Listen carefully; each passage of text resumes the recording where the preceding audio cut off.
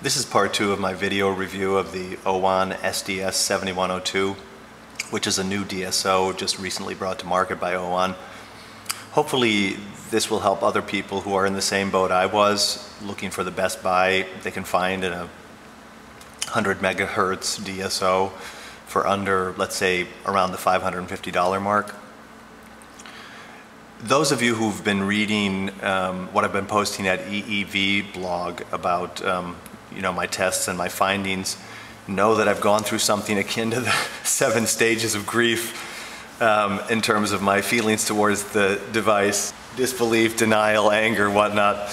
But um, as I've used it more and more, I've started to grow to really appreciate what it can do, even though I'm you know, still a little, little disappointed in the underdeveloped firmware.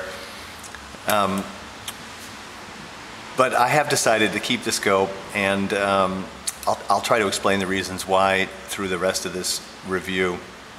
So now we're booted up, ready to display waveforms. Um, the display is 800 by 600 pixels. Uh, just as a comparison to the Rigol screen, I, I, cut a little piece of paper to indicate the size, so this will give a better idea of what's going on here. You can see there's quite a lot of extra screen real estate on the OWON compared to the Rigol.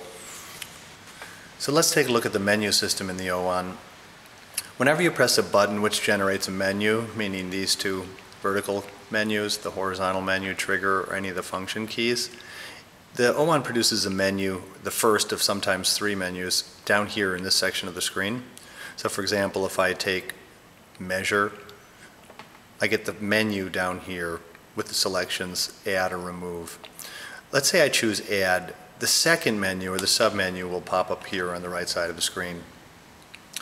Sometimes one of these buttons will generate yet a third submenu. For example, if I select type for the type of measurement I want to add, the third menu will appear here on the left side of the screen. Whenever the left side menu appears, it means you can scroll through it with the multi-purpose knob, for example. Now, I understand from a design point of view why OWON did it this way. At least I think I do. I'm guessing it's two reasons. One is of course, they keep the screen clear in the middle as much as possible for the displayed waveform.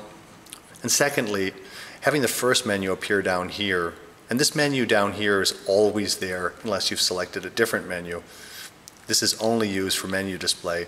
But having it appear down here gives you the option of, of being able to change some things without having to invoke a menu button again. For example, if I have the trigger menu on and I've, I've, got a waveform up and I'm changing the settings to display the waveform, I can select and change trigger options while I'm doing that without, without having to go back to the trigger menu button. There's three little kinks or faults with this system that aren't completely ironed out, let's say, from my point of view, which I'll briefly describe. The first is because you sometimes have three menus, so you have the first menu here, second, third, your hand does this a lot. Up here, down here, back over to here. Now, ergonomically speaking, this movement back and forth isn't the brightest. So personally, from my point of view, even though I do like some menus appearing here and remaining here, I wouldn't mind having some of the menus which have perhaps only one submenu starting here as opposed to here. But maybe that would be confusing for some users because some menu buttons would pr produce the first menu here, some here. Um, but that's just my own feeling about it. Secondly, this area of the screen is only reserved for the menu display, and that's a little bit of a shame. It would be nice to, be, to have the option of turning that off and using that area of the screen for more of these measurements. So that's a second little fault I see with the system. The third is that the idea of this being permanently displayed while you're doing other things with the waveform is great, but it's not well implemented. For example, if I select the trigger menu, I have these options for um, type of trigger, source, coupling, the slope, and then sweep options. You'll notice down here, well maybe you can't see in the video, but for example for slope you've got you know positive and negative edges. And by pressing this button, I can just alter between the two. And if the trigger menu's up while I'm looking at a waveform, I can do that without having to go back to the menu buttons.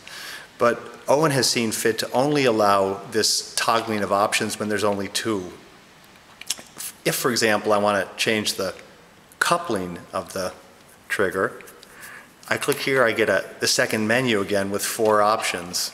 And then, so I, let's say I've got that high frequency filter on and I want to go back to AC coupling, I have to click that and then come back up here again. Personally, for things with say three or four options, I would rather just go one, two, three and get to that option as opposed to bring, clicking this and bringing my hand back up here again. So uh, I think that could be implemented a little better so that you could just toggle through your various options here without having to go to another menu and cluttering the screen up.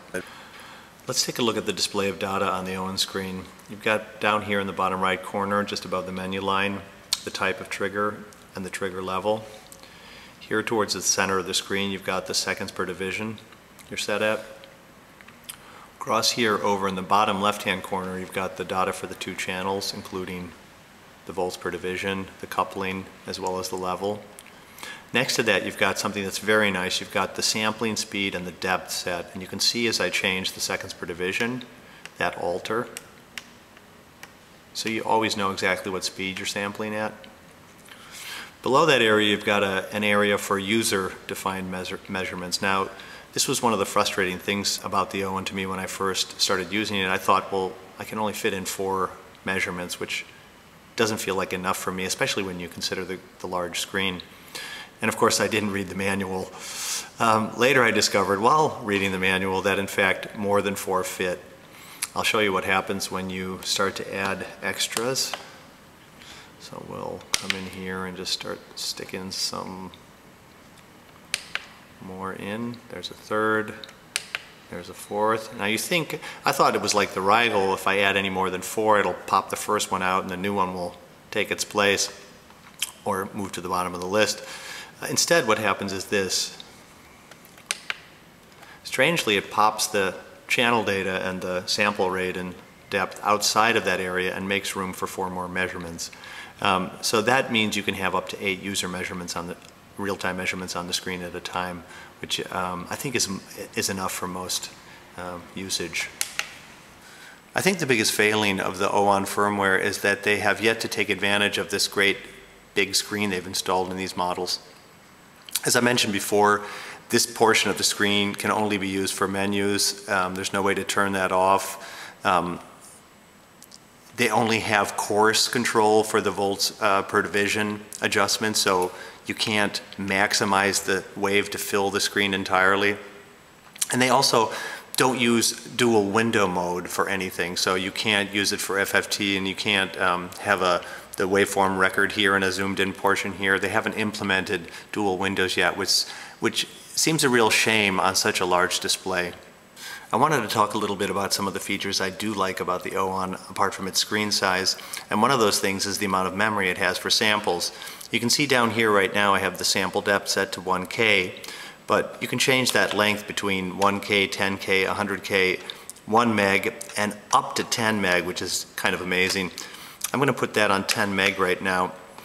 Now the scope is reporting it's going to sample at 1 gigasamples a second with a depth of 10 megapoints. So I'm going to trigger a single sweep of some digital noise. Now we're going to zoom out. And if my math is correct, we should end up with a record length of 10 milliseconds.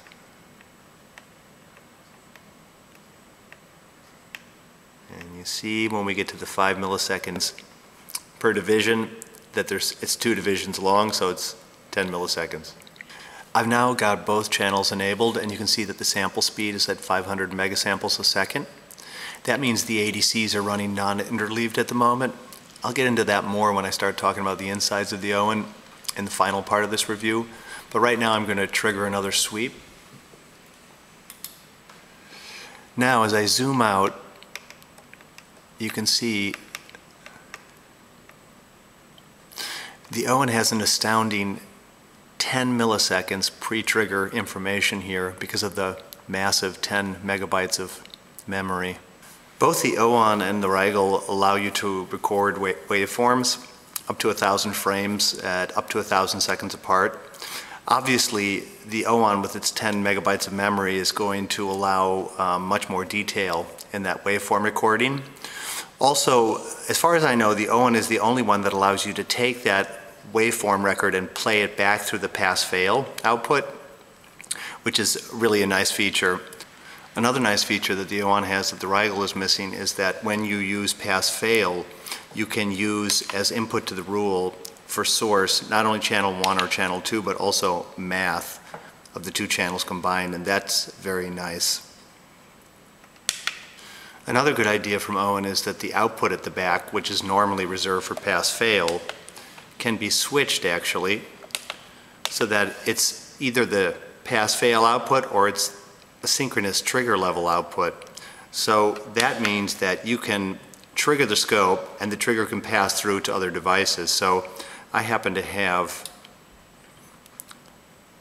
the output at the back fed back into channel 2 here, which we're going to turn on. You'll notice as I expand the time base that trigger out is delayed by about 1.25 microseconds from the trigger in. Also notice the curve in the waveform here. The trigger out is uh, optically isolated and I don't have it uh, pulled higher or anything. I'm just running it directly into channel 2 so that's why you've got this curve on the waveform instead of a nice sharp edge. But this is a handy little feature. You can see as I zoom out on the waveform that the trigger signal goes high the trigger and stays high for the rest of the sweep. The last feature I wanted to mention about the OWON, which I think is really great, is the VGA output. Down here you can turn it on or off. Now you may wonder with such a large screen why would anyone ever need VGA output? Well, I can think of two good reasons for it.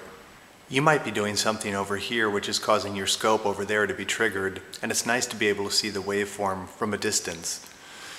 Now I know you could just record the waveforms and then play them back later, but A, that isn't real time, and B, it means walking back and forth. Or secondly, you might be doing something at your computer that's related to the measurements you're making, such as running logic analyzer software or something, in which case it's not that handy to have to keep looking away from the computer screen to check the oscilloscope screen, so it's nice to have all the data directly in front of you. Um, I've got the oscilloscope data up on the second VGA screen, but if I happen to have one of those cheap $15 VGA to video converters, I could just run it directly into the larger screen and use the, the picture-in-picture and have it displayed here, and I wouldn't need the second screen. So this wraps up the second part of my video review of the OWON SDS 7102, where I talked a little bit about some of the faults and some of the features of the firmware. In the next and final part, I'm going to talk a little bit about the insides of the OWON.